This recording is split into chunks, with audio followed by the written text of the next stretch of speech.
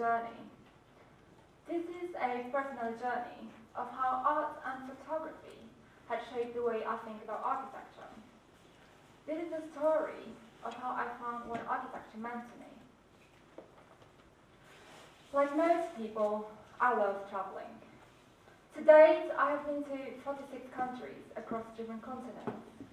I travel extensively during my student days, um, and every term breaks were filled with different adventures, from hiking the mountains in the Himalayas to backpacking across Europe and Southeast Asia, to getting lost in Kazakhstan, to being interrogated in China, and to um, sleeping under the stars in South African safaris. I could never get enough of seeing new places.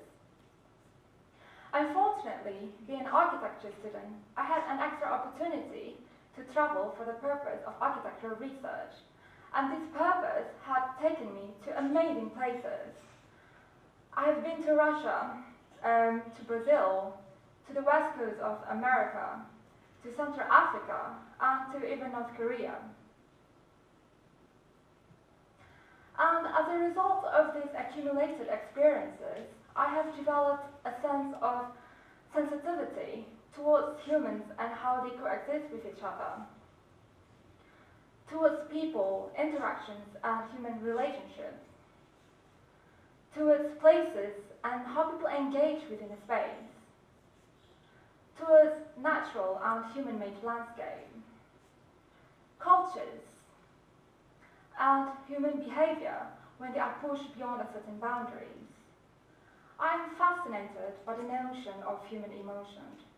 When we discuss about human emotion, we are talking about feelings, experiences, stories, memories, and this has been a recurring theme in most of my work. I guess subconsciously, um, I am fascinated and drawn towards this powerful energy. And these are reflected through my photography work or reinterpreted in an abstract form in my uh, paintings.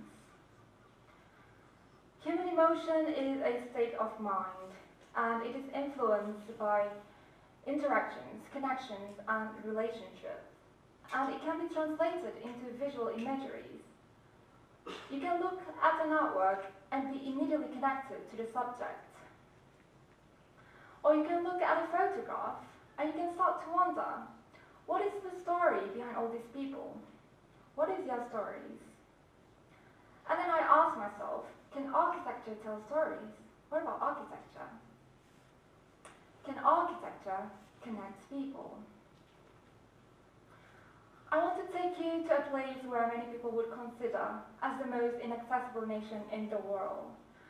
This was photographed from the top of Juche Tower in Pyongyang, North Korea. Last year, I had the opportunity to attend an, an architecture workshop, which was organized by my school, the Architectural Association School of Architecture, in collaboration with Pyongyang University of Architecture.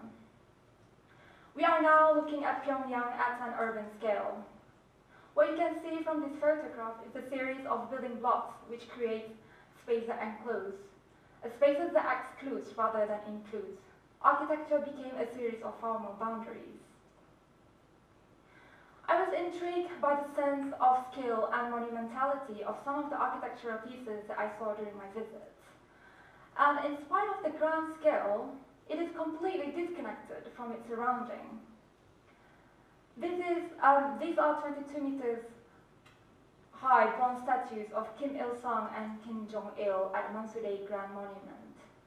And what can be observed from this photograph is a sense of forced engagement between the people and the space.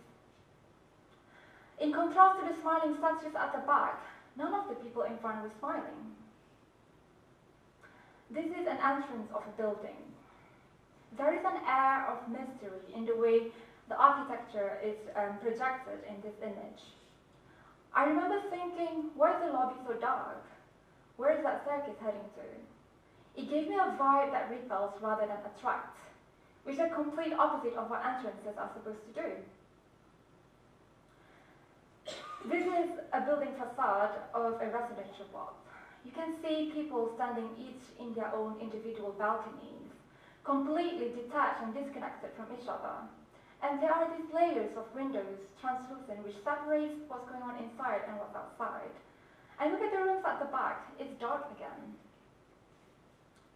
So I began translating my observation and my readings of the city into architectural drawings, and I started to categorize them into different elements. This is a building block with a series of windows and screens that separates what's inside and what's outside. A building block with small apertures, with the distinct disconnections between the inside and outside. And in this third drawing, I took away the outermost layer of the building facade to expose the spaces inside. You can see that dark lobby again, and that mysterious stairs, heading to a long corridor with a series of doors, leading to a lot of different rooms, and there are rooms within rooms. I was trying to depict how architecture can isolate and separate. And then I asked myself again, can architecture connect people?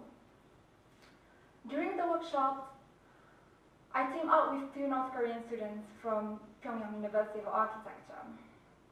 In normal circumstances, foreigners are prohibited from interacting with the locals, and I had this opportunity to get to know them at a very personal level. We became close friends, and architecture connected us.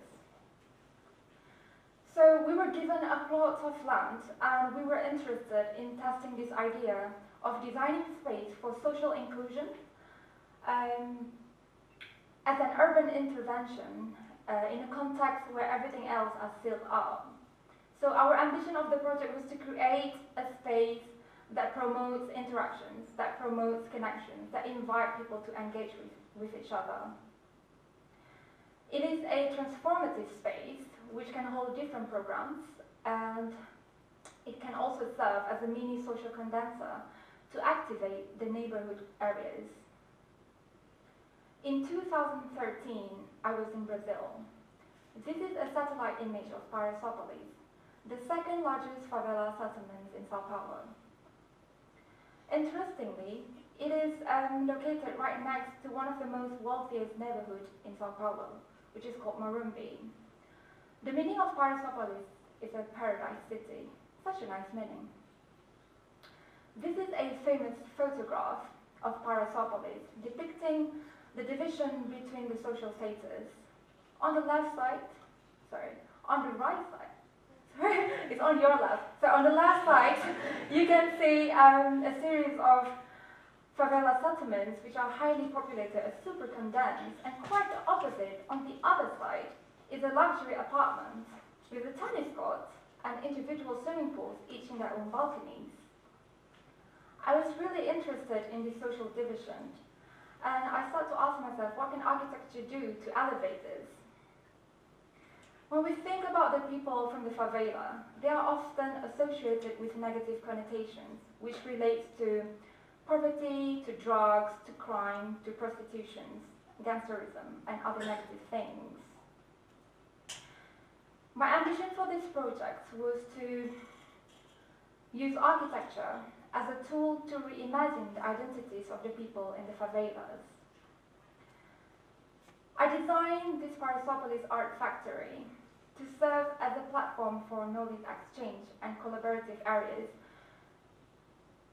to bridge the connection between the people in the city and the favelas.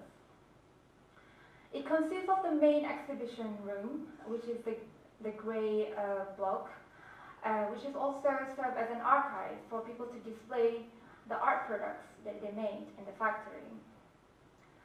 Beneath the main blocks are the series of suspended platforms, which is the main production area of arts and craft products.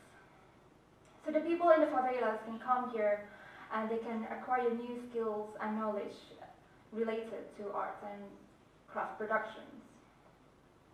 And on the top layer, um, studio spaces and pop-up stores. The whole idea was to create a new centrality within this fragmented favela neighborhood and to create a space where people can come together to connect.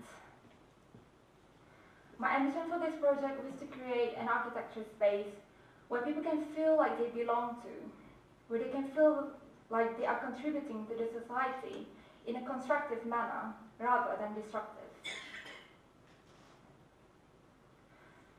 In 1994, the Rwandan genocide shocked the world.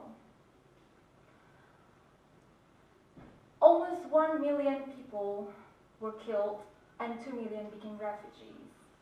What happened in Rwanda is the extreme condition when humans are disconnected from each other.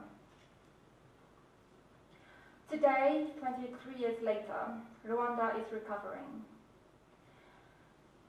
Their economy revolves around agriculture, with tea and coffee became their main agricultural exports. In parallel to the growth in economy, the capital city, Kigali, is also experiencing a massive growth in population. This is mainly due to refugees returning back from the, the neighborhood country and also as a result of rural to urban migration. The housing crisis was a real problem, is a real problem in Kigali, and the government are struggling to accommodate this. This has resulted in a massive growth of urban sprawl, with the boom of informal settlements populating the lower terrains. And this has caused further problems like environmental degradation. So uh, last year, my studentmates and I flew to Kigali to see for ourselves what the conditions are like in these informal settlement areas. And we were welcomed by these wonderful children. They were following us everywhere. They were chanting Muzungu, Muzungu, which translates as white people. Obviously, I'm not white, but my friends were. So they were following us everywhere. They were super excited, and they were so happy to see that people would actually come to where they live and to see how they live. So after I went back to London, I started to, to look deeper into the housing crisis. In the past decades, Rwanda had been experiencing the deficit in construction materials, and they relied heavily on the imported materials from the neighborhood countries. Rwanda is known as a land of 1,000 mountains. And being a landlocked country, and due to its topographical features, the cost of logistics to bring all these construction materials over land are very, very expensive. And this has resulted in the increase of the cost for construction. So I began looking into a new way of building using soil as a new approach of urban expansion. The advantage of using soil is that it is locally available on site, it is readily available, it is recyclable, it is sustainable, and it has zero carbon footprint. So I conducted a series of different experiments and investigations of um, building using solidified soil, and these have generated a series of different soil tectonic modules. I call this project Soilscape, a future wonderland. In the future, there won't be enough land for the people in Kigali to build their homes on. So they will need to start to learn to adapt on living in higher terrains. And it is very crucial to deploy the right technology in order to execute this urban expansion plan. The Soilscape is a speculative future urban vision which imagines a new way of living and a new autonomous urban environment on higher terrain. So the way it operates is based on the overlays of three systems. The middle part is the production line of the factory, where they will produce new soil for both constructions as well as agriculture. And the second layer are the social and communal spaces, with the third layer being the domestic and living quarters. The integration of these three systems is aimed to create a new communal environment of collective working and living environment.